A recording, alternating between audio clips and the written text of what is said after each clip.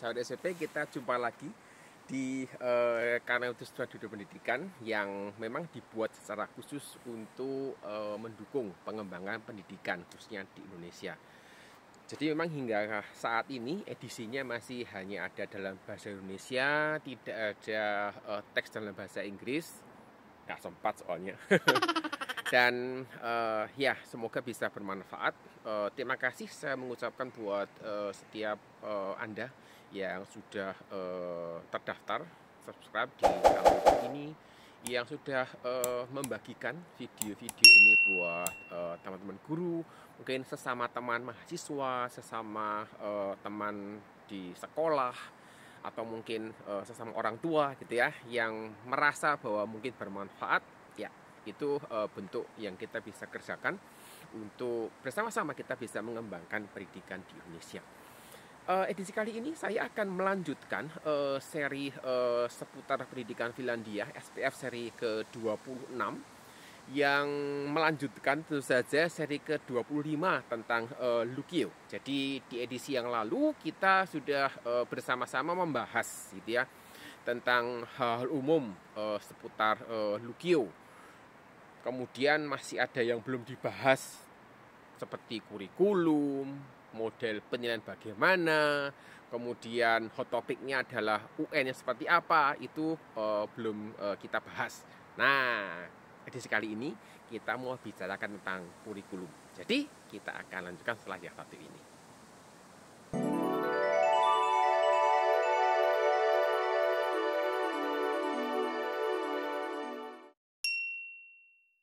Saat ini saya berada di tepi sebuah danau yang dinamanya Danau Tukos gitu ya.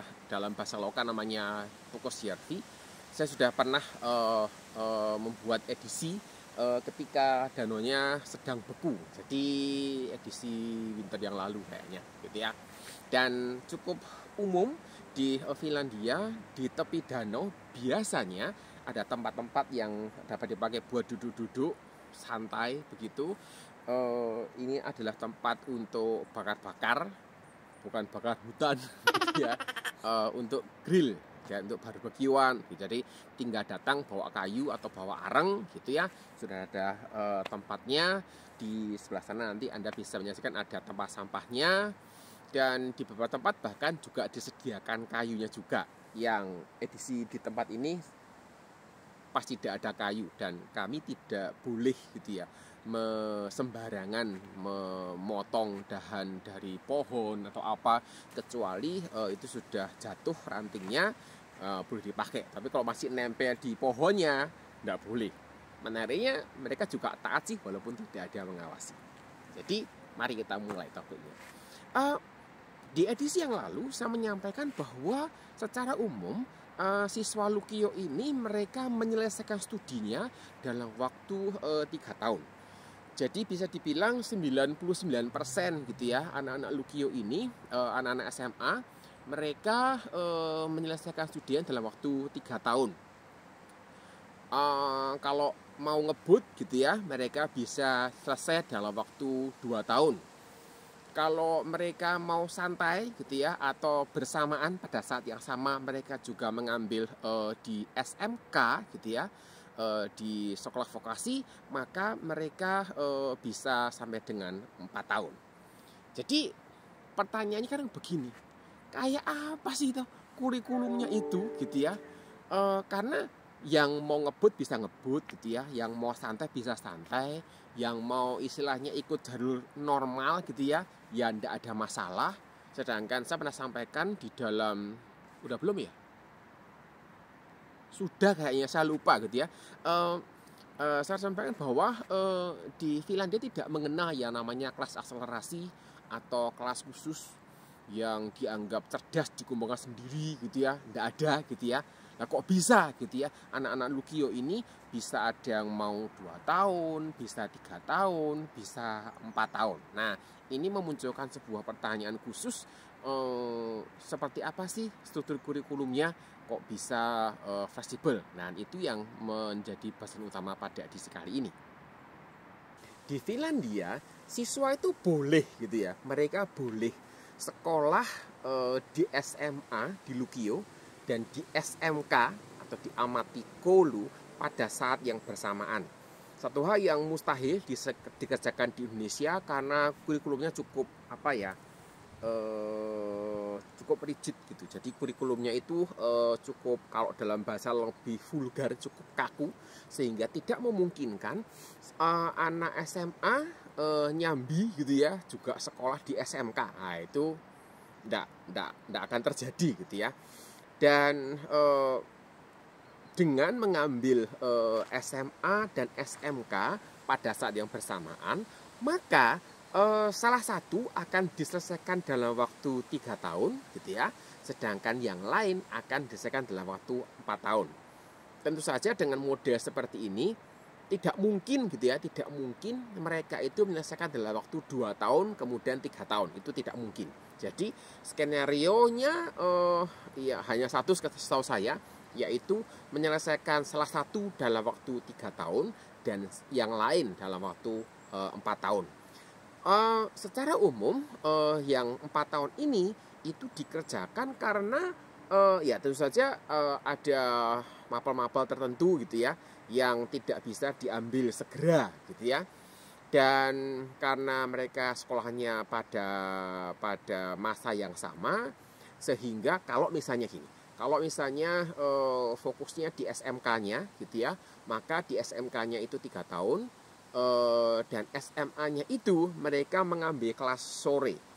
Karena kelasnya sore mulainya sekitar jam sekitar jam 3 jam 4 biasanya baru mulai sehingga tidak banyak mata pelajaran yang bisa diambil. Oleh karena itu e, agak molor. Nah, setelah salah satu selesai gitu ya, maka baru bisa fokus e, pada yang lain. Jadi kalau sudah selesai di e, SMK-nya, di amati maka mereka bisa fokus menyelesaikan di SMA-nya di e, tahun keempat tadi.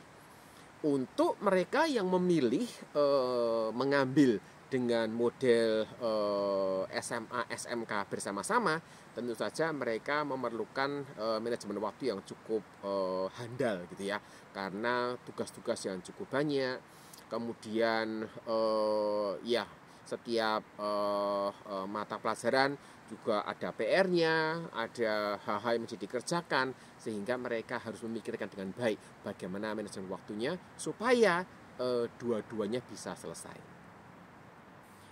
Struktur kurikulum di Lukio itu menggunakan uh, model kredit. Jadi mirip dengan uh, model kuliah gitu ya. Model kuliah dalam bahasa lokal uh, mereka tidak menyebutnya sebagai kredit tapi sebagai OP.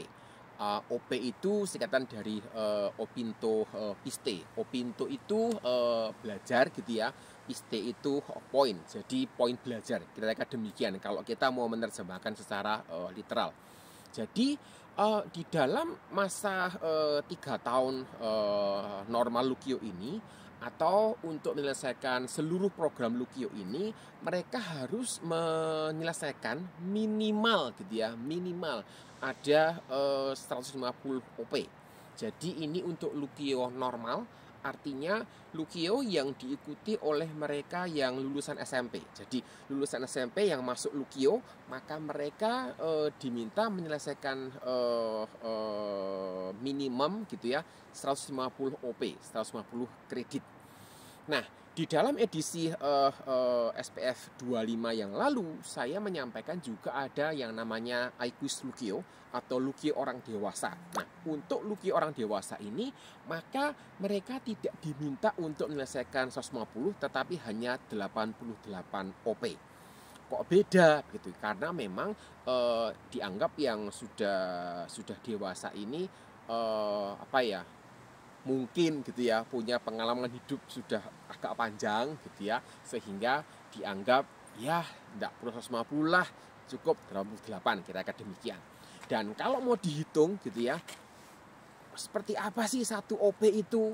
Seperti apa sih satu kredit itu gitu ya? Jadi uh, untuk jalur Lukio normal yang diikuti oleh uh, siswa uh, eh, SMP gitu ya lulusan SMP tadi satu OP itu setara dengan 14 jam 15 menit. Jadi uh, kalau ada uh, mata pelajaran begitu ya mata pelajaran misalnya uh, ekonomi gitu uh, berapa? Oh 3 OP gitu ya. Artinya di dalam satu term masa belajar itu mereka akan belajar tiga kali 14 jam 15 menit gitu ya di dalam satu uh, periode.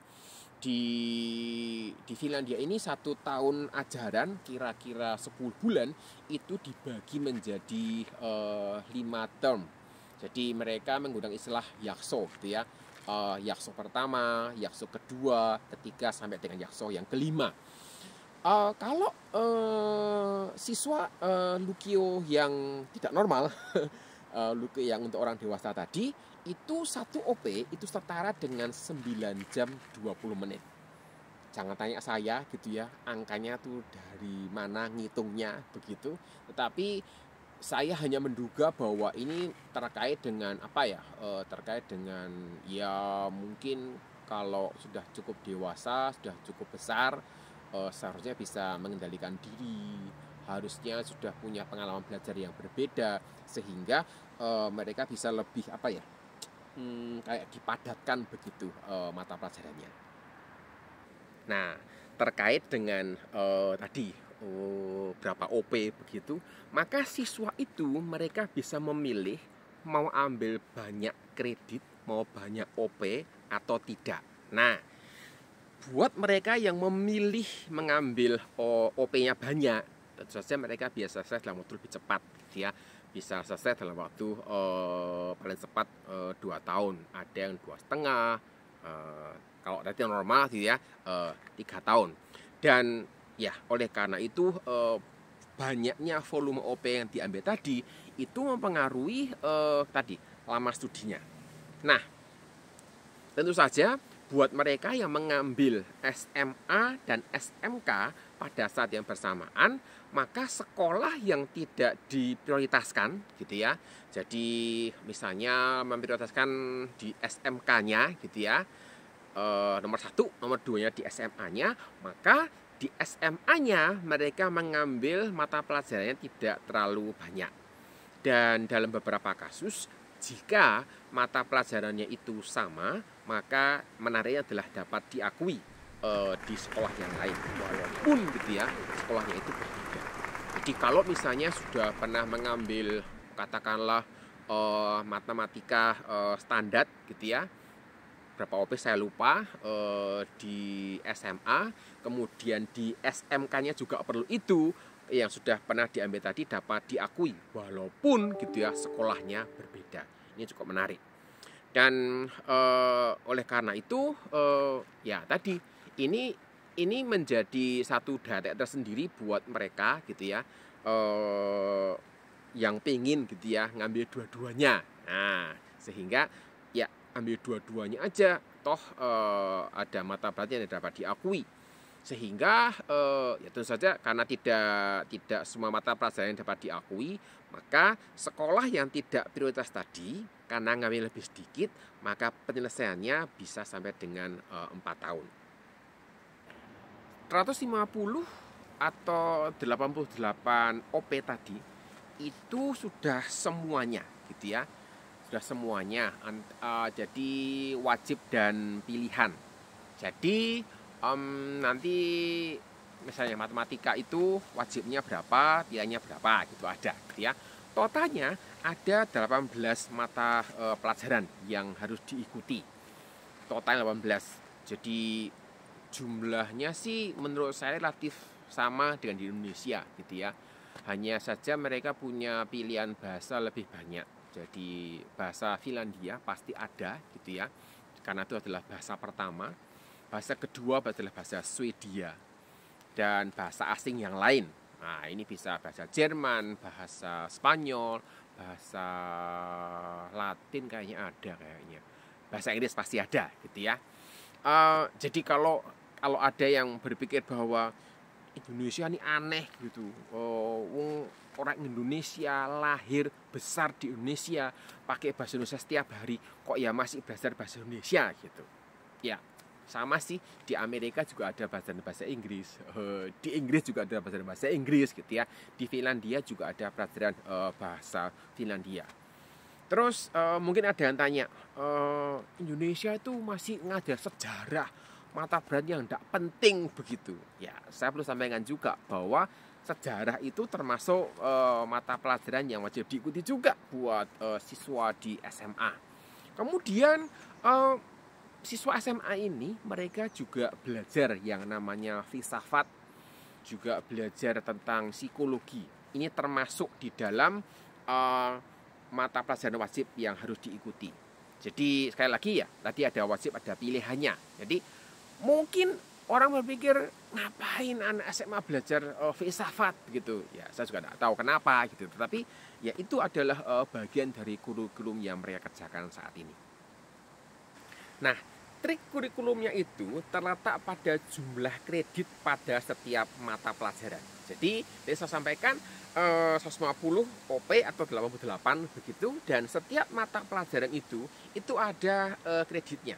Nah, setiap mata pelajaran itu ada eh, eh, kredit yang wajib, ada porsinya yang wajib gitu ya dan ada porsi untuk pilihan uh, bahasa dan matematika itu memiliki struktur kredit yang uh, berbeda dibandingkan yang lain. Artinya uh, porsi wajibnya itu lebih besar daripada pilihan.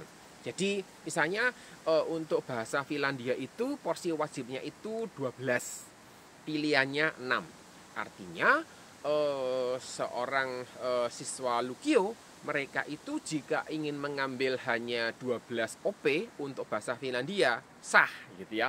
Boleh begitu. Terus yang enam buat apa? Yang enam itu misalnya mereka ingin mendalami lebih dalam lagi karena misalnya saya tertarik untuk menjadi seorang penulis karena pengen jadi seorang penulis maka penguasaan bahasanya harus lebih baik gitu ya e, mesti menguasai beberapa trik di dalam bahasa mesti menguasai uh, apa ya uh, atau uh, menambah kosakata dan sebagainya gitu.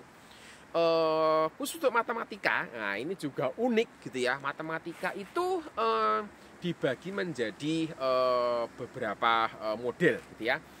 Yang pertama adalah matematika uh, tingkat dasar. Jadi uh, kalau saya ini tidak uh, terlalu suka matematika gitu dan merasa gitu ya, merasa tidak memerlukan matematika yang tinggi-tinggi amat ketika nanti saya kuliah atau ketika nanti saya ingin bekerja. Maka saya boleh memilih matematika tingkat dasar. Nah, kalau mengambil matematika tingkat dasar, maka eh, jumlah wajibnya itu ada 18 gitu ya. Kemudian kalau mau sedikit mendalami yang tingkat dasar ini boleh nambah 6 kira-kira demikian. Tetapi buat yang merasa wah saya ini pengen kuliah di oh, bidang yang matematikanya itu cukup intensif jadi saya perlu menguasai matematika tingkat lanjut. Nah, kalau memilih matematika tingkat lanjut maka porsi wajibnya itu 10 gitu ya porsi pilihannya ada 4 nah dan e, untuk matematika ini e, pilih salah satu gitu ya. Mau pilih yang tingkat dasar atau pilih yang tingkat lanjut.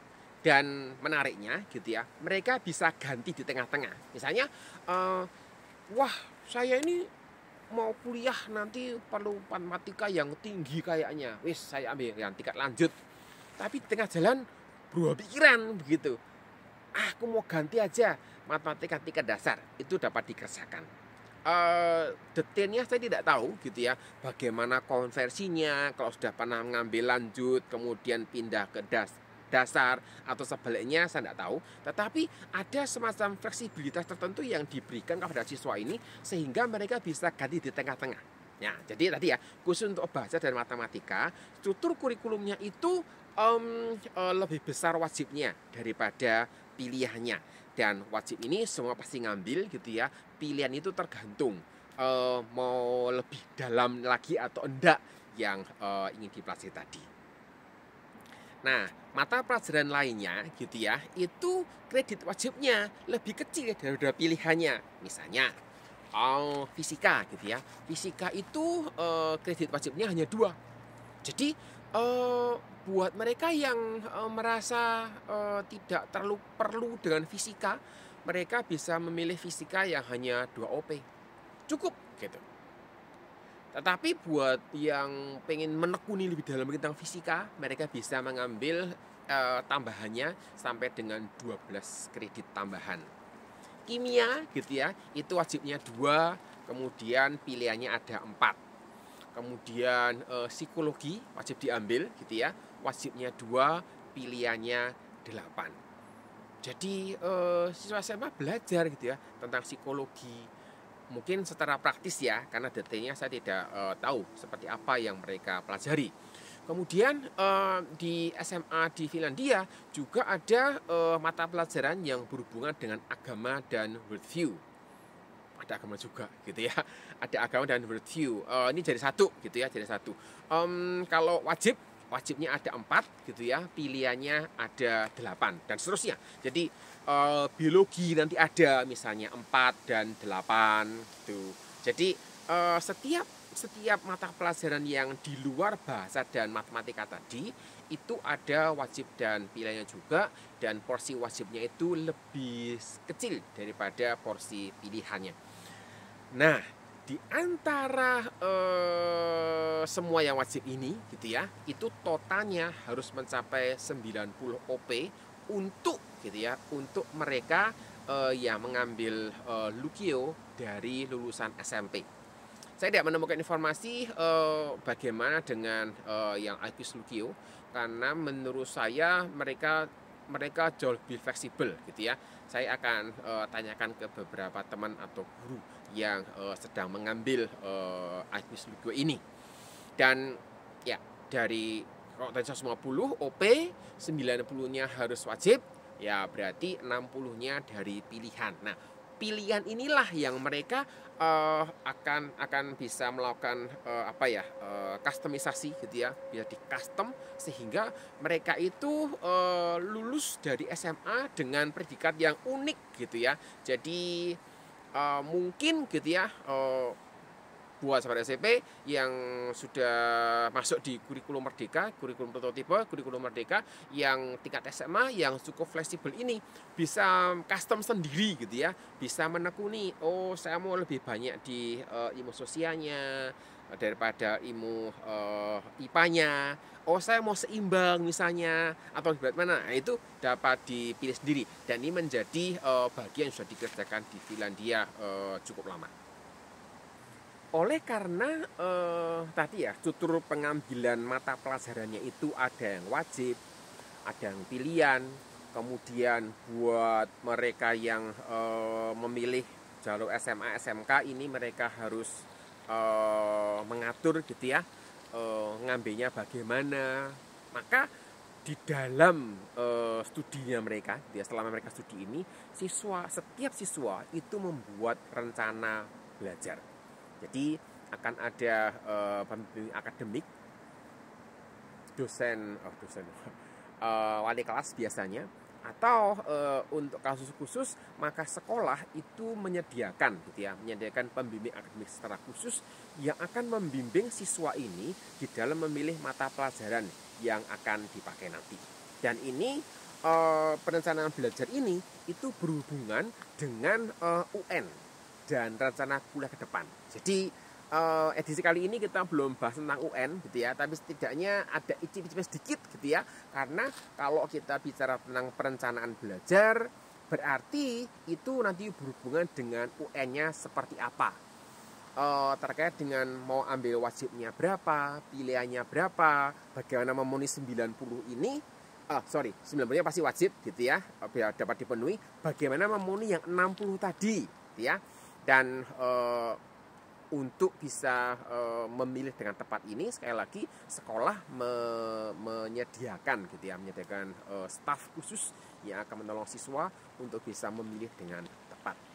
Dan secara umum uh, wali kelas gitu ya perannya tidak terlalu besar karena biasanya wali kelas ini lebih ke arah komunikasi dengan uh, orang tua. Tapi wali kelas bisa bisa menolong siswa pasti gitu ya.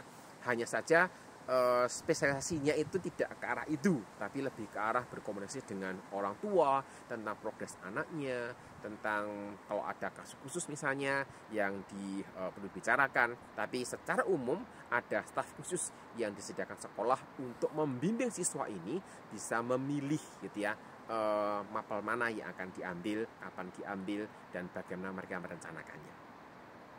Nah, sudah terbuka sekarang sudah terbuka dengan jelas bahwa dengan struktur kurikulum seperti ini jadi bisa bisa milih gitu ya bisa milih mana yang didalami mana yang hanya ngambil dasarnya saja begitu hanya memenuhi wajibnya itu membuat siswa ini itu bisa ngebut gitu ya tanpa uh, perlu kelas khusus. Jadi kalau untuk uh, model uh, Lukio dari uh, lulusan SMP selama mereka sudah menyelesaikan 150 OP dan mereka mm, ikut UN, lulus UN begitu, ya normal gitu ya, mereka bisa uh, selesai. Dan konsekuensinya gitu ya, konsekuensinya uh, tentu saja ah tidak mau terlalu ribet lah, maunya santai gitu ya, tidak masalah gitu. Jadi uh, siswa ini punya uh, pilihan. Sekali lagi uh, 99% gitu ya, mereka memilih menyelesaikannya dalam waktu tiga tahun dan ya sisanya ada yang dua tahun, ada yang eh, empat tahun. Secara umum, gitu ya, secara umum uh, tidak ada semacam kebanggaan di masyarakat jika mereka itu bisa selesai SMA-nya dalam waktu uh, dua tahun, sehingga hmm, tidak banyak sih, tidak tidak banyak yang mengejar gitu ya, mengejar mendapatkan tepuk tangan dari lingkungannya gitu ya bahwa mereka bisa menyelesaikan SMA-nya dalam waktu uh, dua tahun. Itu bukan sesuatu yang apa ya spesial sehingga ya rata-rata mereka memilih jalur uh, normal gitu ya uh, menyelesaikan SMK-nya, lukionya dalam waktu tiga tahun. Jadi ini adalah gambaran kurikulum yang dipakai di tingkat SMA dengan fleksibilitas yang cukup tinggi ini, maka memungkinkan mereka juga untuk melakukan kustomisasi seperti yang juga dikerjakan di Indonesia terkait dengan kurikulum merdeka. Jadi itu dulu yang bisa saya sampaikan pada edisi kali ini. Edisi berikutnya saya akan bicarakan tentang UN gitu ya. Nah ini menjadi bagian yang mungkin hmm, penasaran seperti apa sih UN di Finlandia. Semoga bisa uh, juga bisa mencerahkan uh, ditunggu edisinya bulan depan. Jadi saya kira itu dulu yang bisa saya sampaikan pada pada edisi kali ini. Kita jumpa lagi di materi selanjutnya di edisi SPF ke-27 nanti tentang UN. Kita lanjut di tempat yang berbeda. Sampai jumpa.